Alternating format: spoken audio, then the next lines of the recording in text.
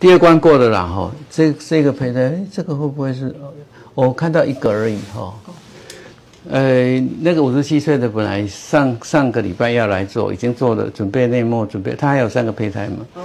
结果他看你成功，他也要跟着成功。结果他两个礼拜以后打电话说，他的亲戚、他朋友一直劝他不要做。我其实我劝他不要，那么那么大年纪了，那你是狗不理沙中。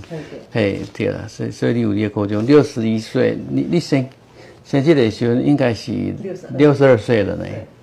目前我查一百零六年只有一个六十一岁，所以你现在是目前 目前国内的记录。不过不过要这个这种试管婴儿一定要生下来才算数了。这就要要我我我我 take on baby 就是要把小孩子抱回去才才算是，在此之前都有变数啊。好，好恭喜。好谢谢谢谢。七胞胎好，下个礼拜过第三关哦。